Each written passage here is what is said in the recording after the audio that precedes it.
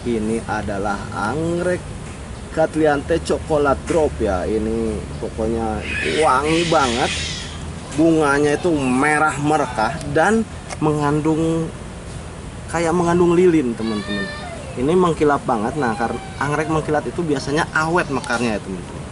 Ini adalah Katliante coklat drop. Hasil persilangan dari Cattleya gutata dengan Guarante auriantiaca.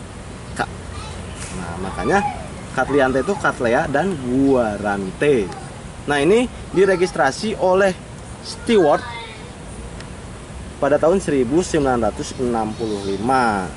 Nah, ini dibanderol kurang lebih harganya 200-an ya, teman-teman.